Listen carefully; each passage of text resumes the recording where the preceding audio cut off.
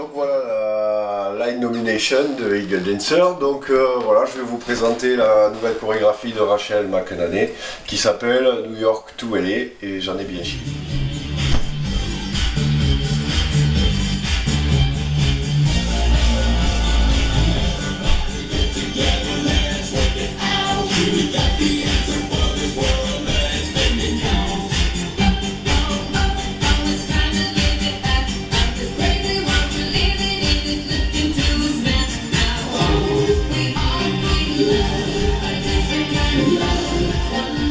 Voilà, la danse est faite. Donc euh, maintenant, je vais nominer Carole euh, Real ou Real, joie Voilà pour la chorégraphie de Daniel Trepa qui s'appelle Mare, M-A-R-E, Marée.